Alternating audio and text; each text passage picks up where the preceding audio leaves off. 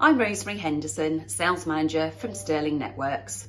I'd like to invite you to Swindon Breakfast, which is going to be hosted by our proud partners, Metro Bank.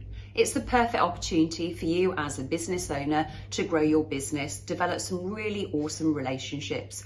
We'd love to see you there. It's on Friday, the 25th of March. All you need to do is click on the link and a warm welcome awaits you.